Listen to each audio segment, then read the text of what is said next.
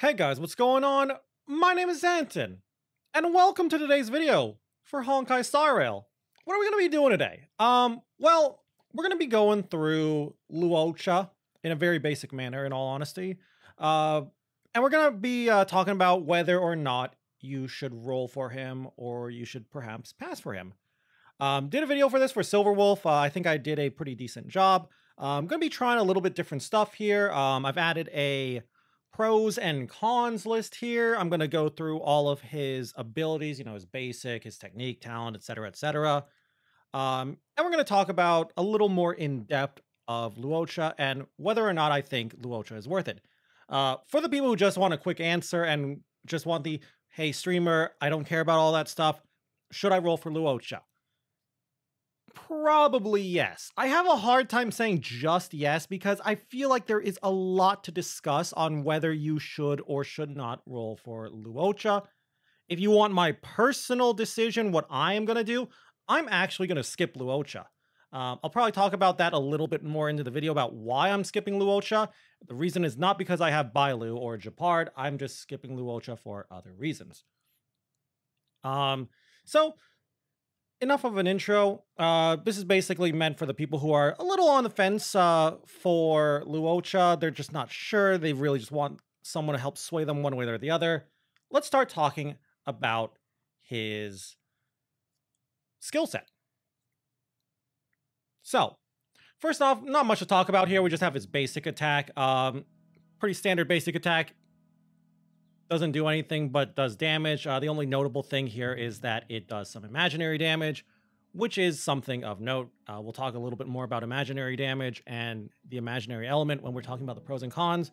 But yeah, not much to talk about here, so we're just gonna go and like zoom through that. Next up, we got his technique.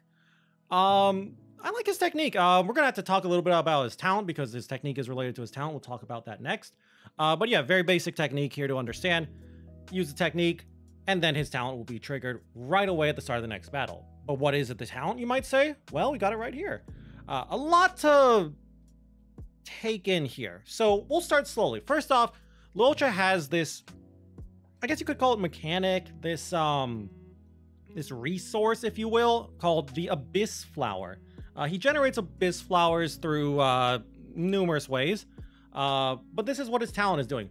When he gets two Abyss Flowers, basically it's two sacks of Abyss Flowers, he uses them all, and he deploys a field against the enemy. Now, while this field is active, if your units attack, or sorry, let me rephrase that. I'm getting all tongue-tied here. If the field is active and your units attack the enemies, they will heal. Um, a set amount depending on, well, as you can see here, um, the scaling, of course, leather, uh, which is also going to be scaling on his attack and the just flat out heal as well. So, uh, very nice heal. Um, this is one of the strengths, in my opinion, of Luocha, letting you, giving you some healing without actually having to use some skill points. So uh, you can actually run some more skill point heavy lineups. Uh, next up, we have his actual skill. Um, in all honesty, there's a lot to take in effect here, but at its base, it is basically just a heal. Um, it does give him a stack of Abyss Flower too, which is really nice. So you can actually get his talent up and get the field back on. Um, so yeah, pretty solid. And he has like a an emergency heal, I guess is the best way to call it. Uh, when an ally has their HP drop below a certain percent, 50%, um, he will basically use this skill on them immediately. Uh, so that's kind of nice in that you can, if you don't think your opponent can nuke your allies that hard, you can let them just, you know, take a little bit of chip damage, slowly get whittled down, and have his uh, passive, his um, passive heal go off because it will not use a skill point, which is uh, pretty nice. Um, of course, it can only be used uh, it has a two-turn cooldown, so it can't be used all the time. You can't just rely on it, but it is a it's a nice like oh shit kind of button, which uh, you know, is a very nice thing to have on healers. And finally, got his ult. Um, his ult is there's a lot to talk about with his ult. Um, first off, doesn't really do healing. Like that's kind of uh honestly a little bit I won't say rare because there aren't that many healers, but it's uh I don't know if it's less than ideal, but it's it's not what I expected from a healer.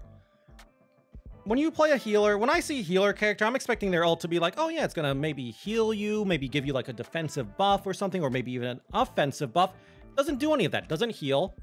Uh, instead, it just does AoE damage, which is not bad because he does scale with AoE, so you, you can kind of call Luocha like a healer who puts out a little bit of damage thanks to his ult.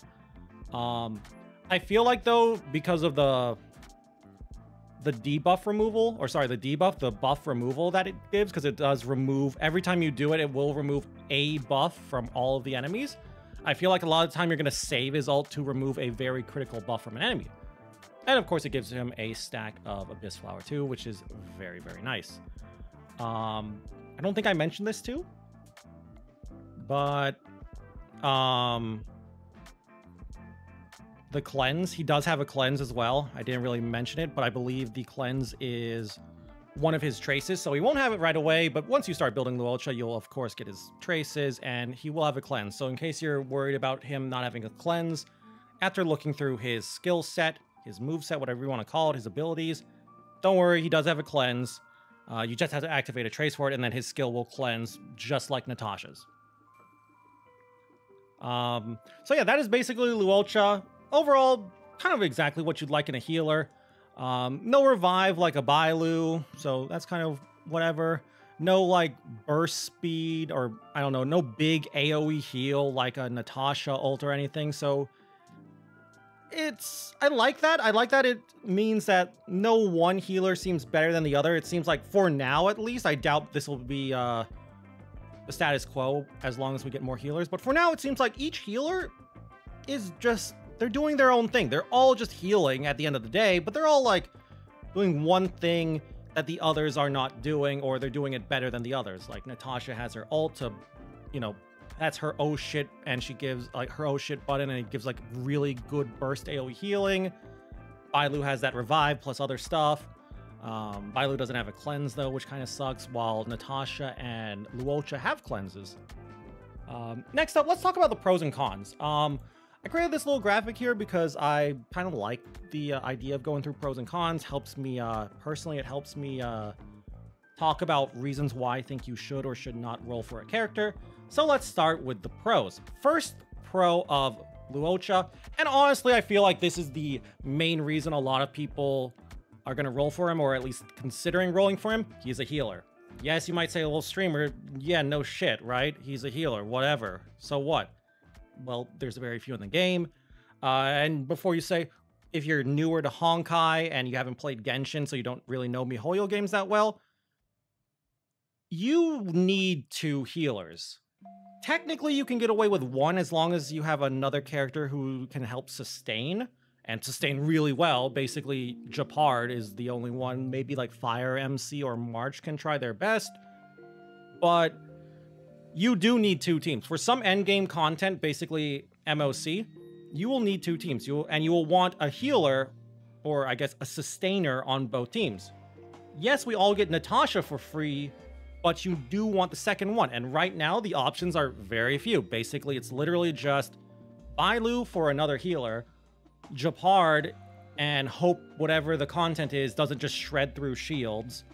Um, and then you can try Fire MC or March, but while people have completed like endgame content with Fire MC and March, no Gepard, uh, no healer in their second team, it's very, very tough.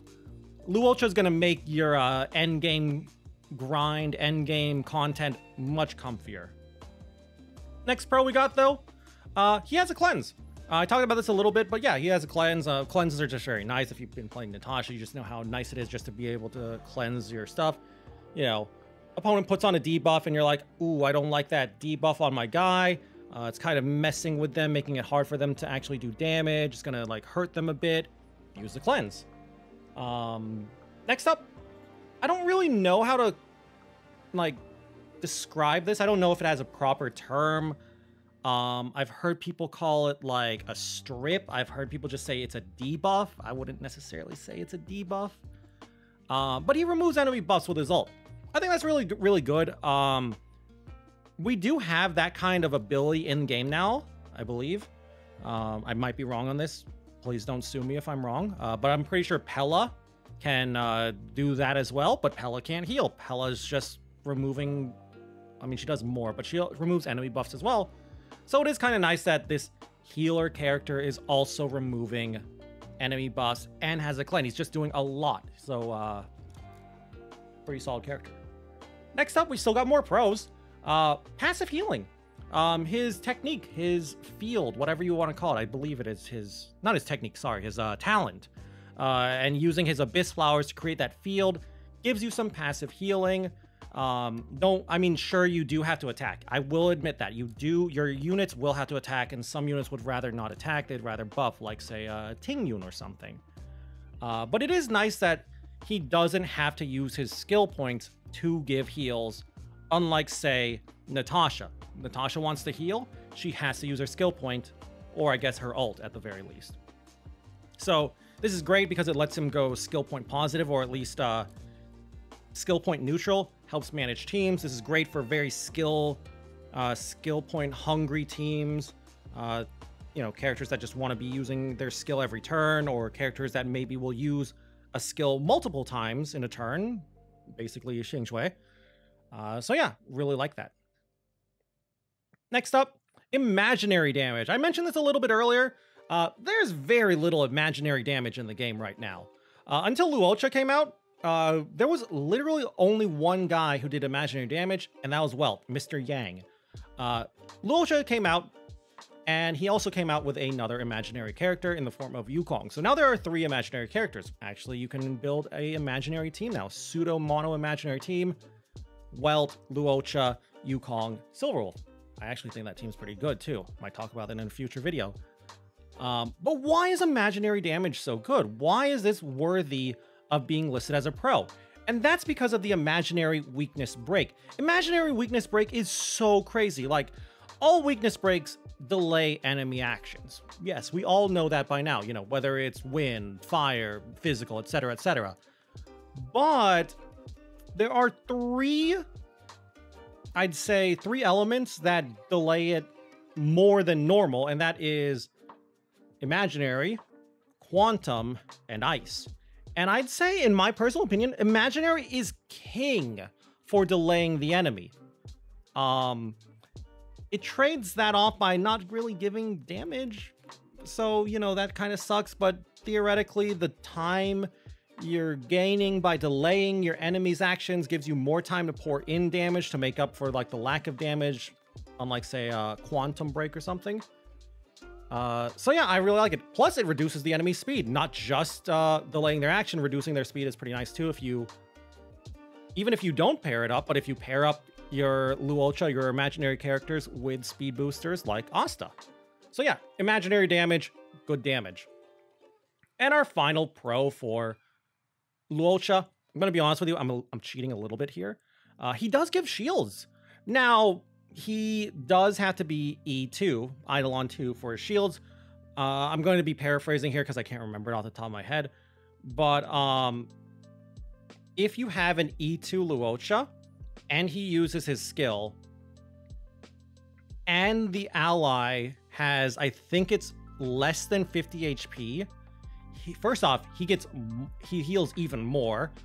Um, but if they have over 50 HP, they get a shield.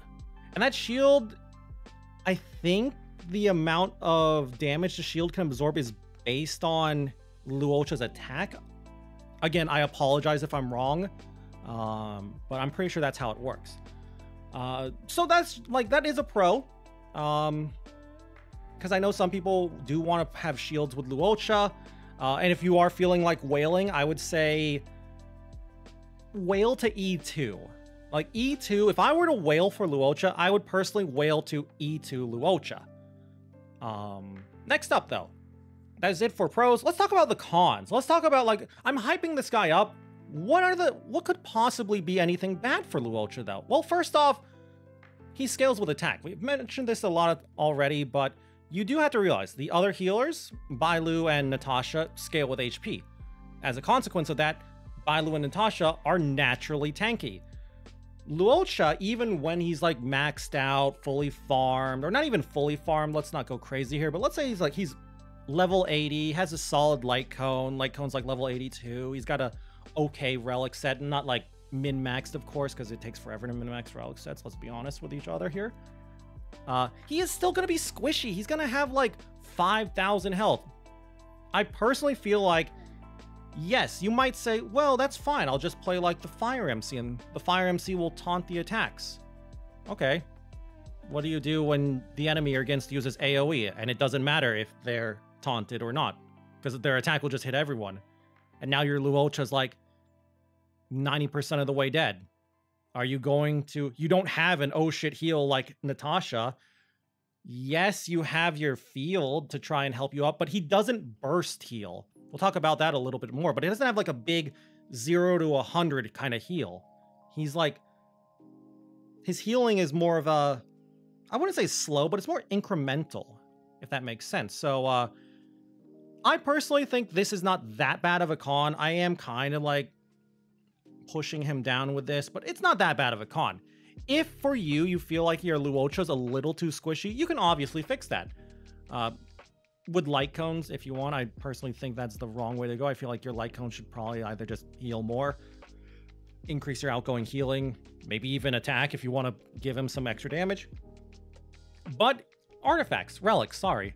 Relics are really good. You just get like 1 HP percent relic and then you fix this problem, or even a defense percent relic. Um, which of the relics would you choose? Uh, it's up to you, really. Like, I honestly think it doesn't really matter too much, but just as long as you get like one main stat HP percent, or maybe even a couple of sub stat like HP percent or defense percent, and this con, kind of like not a problem at all. Sure, even with those, unless you like really, really build him like with a lot of HP or defense for some reason, which is a stupid idea, he's still going to be squishier than Natasha and Bailu, but you fix that squishiness and you fix that AoE nuke problem that I have mentioned. Now his next con. What do we have as his next con? Uh, talked about a little bit, weak burst healing.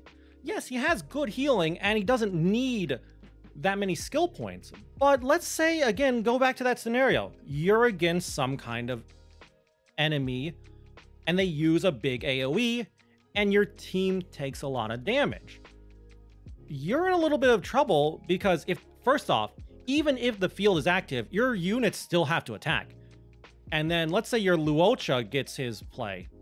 He can only heal one unit.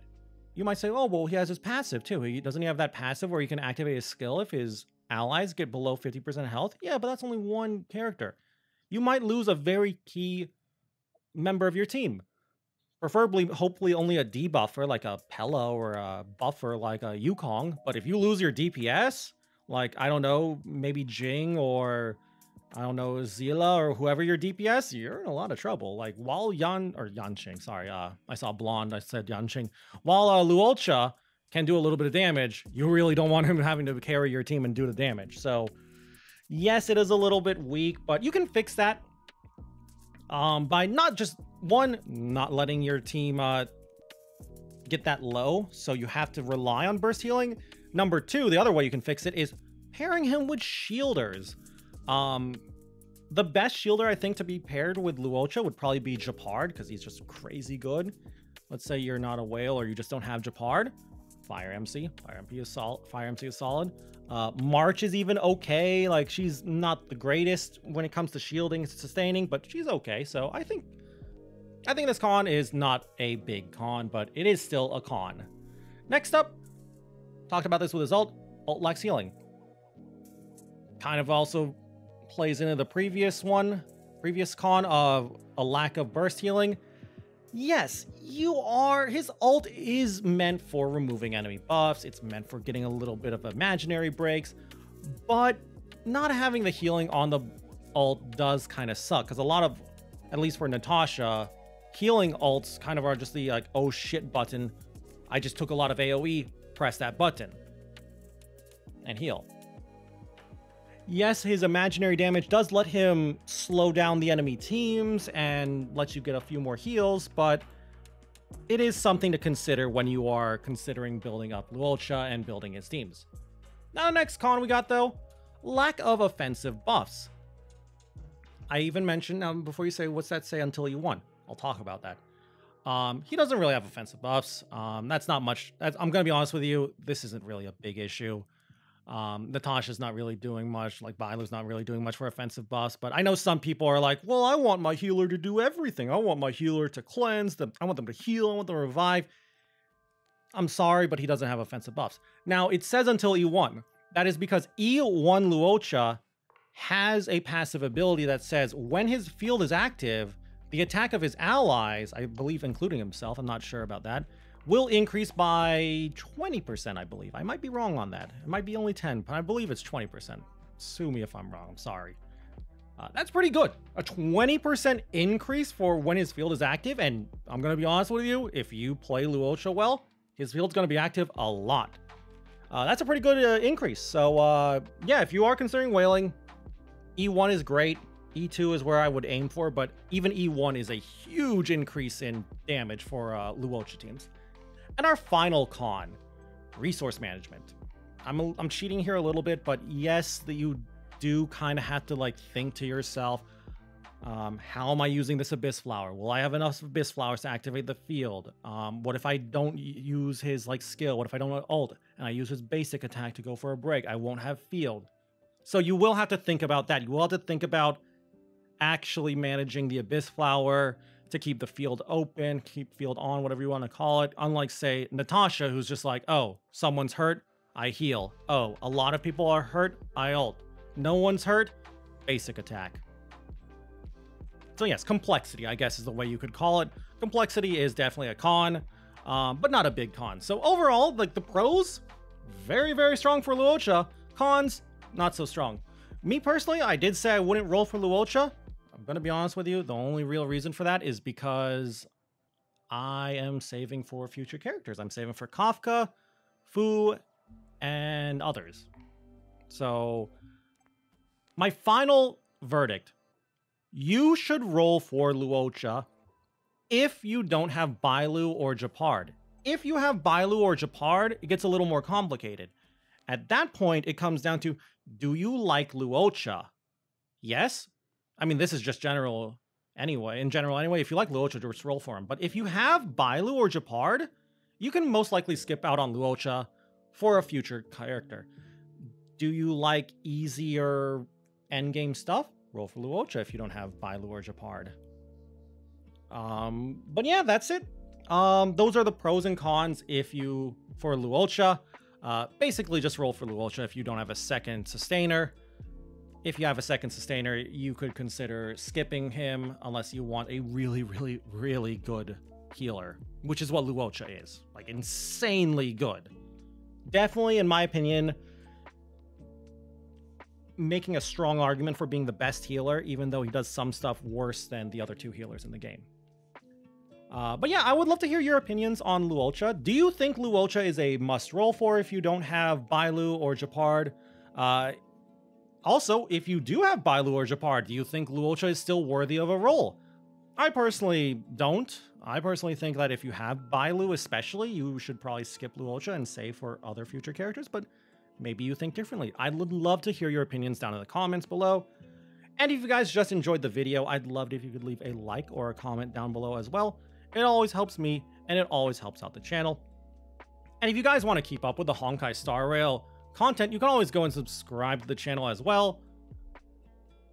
And if you guys also want to watch me play some Honkai Star Rail, you can go and check me out over on Twitch at twitch.tv slash Zenaton, where I stream pretty much every single day. But with that all said and done, thank you all again once more for watching this video.